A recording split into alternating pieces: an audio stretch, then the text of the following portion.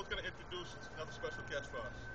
I'm gonna have uh, Maddie Keith, who is uh, a young girl who does a, a boulder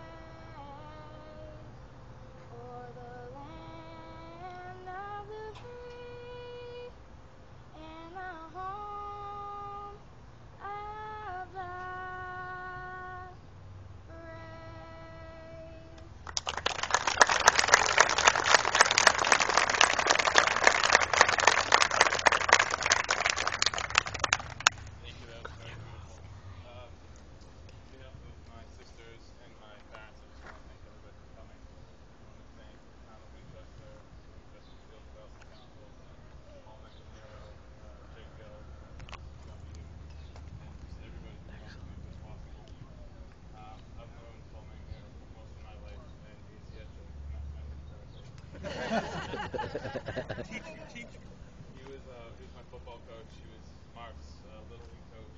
Um, and for me and for my brother and for an entire generation of young men in this town, he's been a model of what community service and giving back to your community should be like. Um, he gives so much of his time and his expertise. I mean, he's the one who's the force behind building this amazing facility. And another generation of little stations are going to get to play here because of him. So let's give him a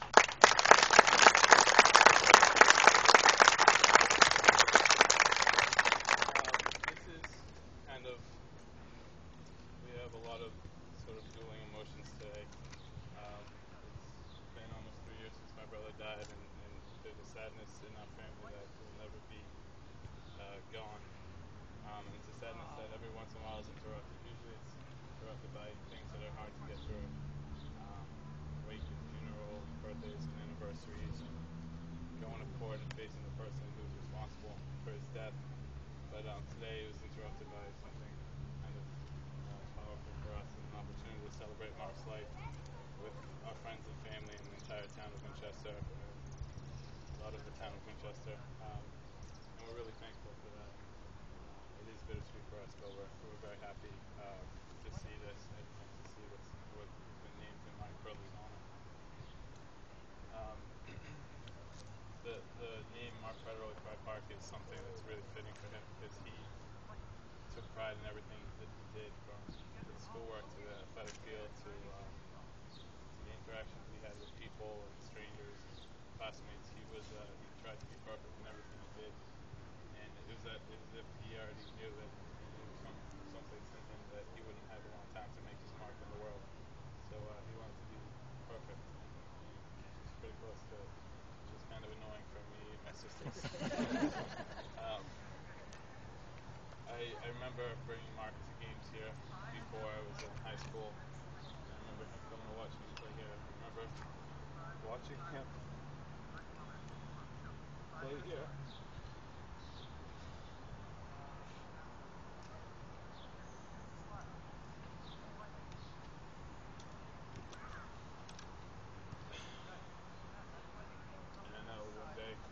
sons here to see the agent and we'll stop in this park and I'll tell them about my brother and about the life he had and the impact that he had in such a short amount of time. Thank you guys. Thank you all for coming.